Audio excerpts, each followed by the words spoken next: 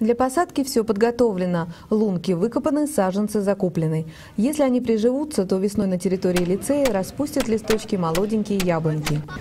Сегодня два одиннадцатых и три девятых класса садит каждый свое дерево, а малыши, первые и вторые классы, принимают эстафету. Малыши не только с удовольствием принимали участие в зарождении будущего сада, но и рассуждали.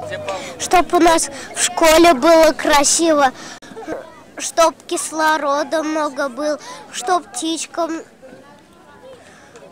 было приятно строить там свои гнезда, чтоб насекомых полно было для птичек. Мы будем расти, с нами будут деревья расти. Такие яблоневые сады посадили уже в пяти димитровградских школах. Акция «Сад в каждую школу» будет продолжена. Останется в памяти надолго, потому что это очень запоминает, запомнится навсегда. И через несколько лет мы придем в школу вновь на вечер встречи и увидим такой прекрасный сад. Татьяна Елисеева, Виталий Немов. Новости Димитровграда.